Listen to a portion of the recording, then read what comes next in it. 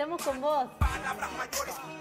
Muy bien, vamos a continuar aquí en Crónica Matinal y momento de compartir una hermosa imagen que tiene que ver con una centenaria cordobesa. Estamos hablando de María Segunda Pérez, la hemos tenido en alguna oportunidad aquí en el programa, con alguna entrevista y la traemos nuevamente porque celebró 103 años de vida. Estas personas longevas que demuestran que siguen con, mucha, con muchas ganas, con mucha alegría y rodeada de muchos afectos. Estamos hablando de María Segunda Pérez, tenemos imágenes para compartir de lo que fue el momento en el que ella sopló las 103 velitas. Acompañada de la familia, María Segunda Pérez tiene cinco hijos, ahí la estamos viendo, 14 nietos, 26 bisnietos y tres tataranietos. María Segunda Pérez vive aquí en Córdoba, en una residencia, y ahí está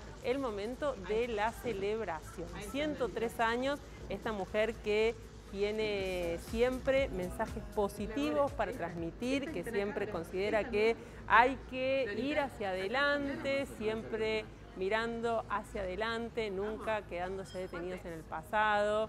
Una una hermosa imagen soplando allí, 103 años de vida. María Segunda Pérez, vecina cordobesa, ella es, hija de inmigrantes españoles y fue. agasajada por la familia, tiene familia aquí en Córdoba y en otros lugares también, incluso en otros países, no solamente en otros lugares de Argentina, pero el día de su cumpleaños todo el afecto se hace sentir en esta mujer tan querida por su familia. Y ustedes televidentes también nos pueden contar, aquí saben, vamos haciendo el registro de los centenarios que tenemos en Córdoba, centenarios y supercentenarios, que son aquellos que pasan los 110 años. Quienes tienen más de 110 años, que hay ya varias personas en el mundo, forman parte del registro de los supercentenarios. Así que si ustedes tienen algún familiar, un vecino o algún centenario que esté viendo la crónica matinal, ¿por qué no? Y quiere sumarse, nos quieren mandar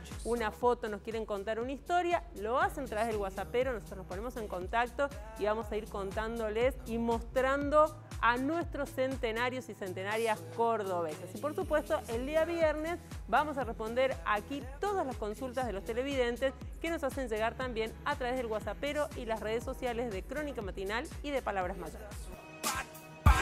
O sea que ya son un montón de mensajes los que estamos recibiendo de consultas para Cecilio Lorenzo, palabras mayores al 351-564-4048, escribile y el viernes Ceci responde todas las consultas en vivo.